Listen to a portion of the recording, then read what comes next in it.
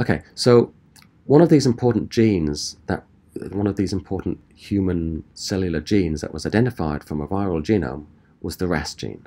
Okay, and turns out if you look for this, now that you know what you're looking for, if you look for this RAS sequence in human um, cancers, you often find that this RAS sequence is mutated. So it, this led to our understanding of how a normal cellular gene can be mutated. So in the absence of viruses, this gene happens to pick up a mutation in a normal cell, and when the, this normal gene gets mutated, it causes problems. Okay, so what is the RAS gene? Um, it was one of the first gene sequences to be sequenced, and it turned out it was a, you know, they they managed to sequence 350 base pairs of this gene, and then look at the and this, do some sequence analysis. And what they identified that, which was really exciting when they did this, they were able to identify a single base pair substitution, a single point mutation in the RAS sequence. And this single base pair change was enough to convert this normal cellular gene into an oncogene. So the normal cellular process had been perturbed by this point mutation. So a single base pair replacement um, appeared to be all that was required in this gene to um, make it contribute to the progression of cancer. So, so here we have um, the first exon of the human RAS gene. So it starts with um, ATG. There's the first methionine of the sequence. So this is the start of the um, first exon. And if you count 12 exon, 12 codons in, so 1, 2, 3, 4, 5, 6, 7, 8, 9, 10, 11, 12. Okay, 12, the 12th codon. Okay, the um, normal gene, so we call it a proto, meaning a prototype, an early version. So the prototype of this oncogene, so this proto-oncogene, which is the RAS gene in this case, this proto-oncogene normally has a GGC sequence here, and it codes for glycine. A point mutation converts the GGC into GTC, so a G to T transformation. This single base pair change changes the codon. Instead of coding for a small um, side chain, which is just a hydrogen residue with the glycine, it changes that amino acid residue into a valine, big, bulky um, methyl groups. Okay, so it changes the conformation of the protein significantly because it inserts this large bulky group which changes the function of the protein. And then um, that single change um, makes the RAS gene hyperactive. So this was the first time that um, a single mutation was discovered in a gene that causally contributed to cancer formation. So it's a huge discovery in, and a huge change in the way that we understood how cancers were formed. And an, another important um, part of this story is that this genetic change occurs through a normal somatic mutation during an adult lifetime.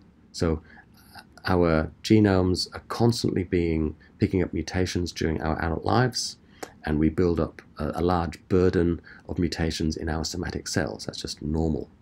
Now we've got, you know, 300 billion base pairs of DNA, so it's very rare that you're going to pick up a particular mutation in one of these particular genes. But when that does happen in a cell, then it gives that cell a growth advantage.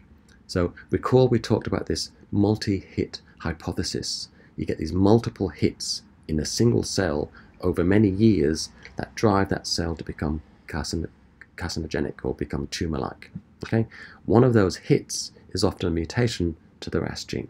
It's very unlikely, but we've got so many cells in the body and we've got a low rate of mutation in all of these cells that if you do the maths, there's a chance that it will happen during an adult lifetime. So understanding this, this RAS point mutation established a mechanism now where we can understand how oncogenes become activated. Okay, so um, within a decade of discovering the RAS mutation, um, a large number of other um, human tum tumors were found to carry the same mutation in those cells. So you get a patient, you take a tumor sample from that patient, you sequence the RAS gene, you look at the RAS gene sequence, and you see that mutation at the 12th codon. All right, so all the cells around the tumor have the normal sequence, but you get into that tumor sample and you sequence that, and it's got the mutation. So it's a normal somatic mutation that's driving the, the process of cancer formation. Um, so it turns out that there are three specific codons in RAS that are very important to control RAS function. So we've talked about the mutation at the 12th codon. Turns out that the 61st codon and sometimes the 13th codon are also important in looking at the function of RAS. So you've got these codons separated by many tens of residues, but remember the protein folds around and these, these residues that are separate on the primary sequence come into close proximity in the folded sequence, okay, in the folded structure. So these residues tend to be quite close together in the folded structure, even though they're separated on the primary structure.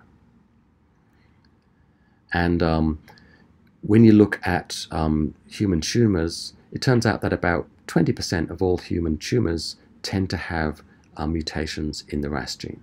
So RAS, the RAS protein is one of those key important proteins that's vital to controlling normal cellular growth.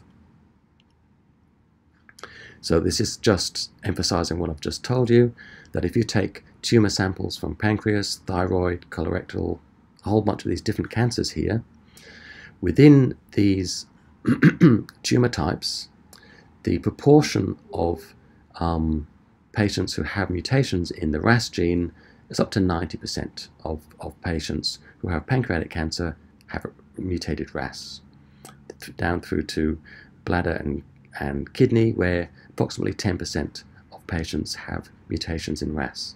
So remember we talked about this idea that different types of cancers have different players that are involved, the different hits on the genome are involved.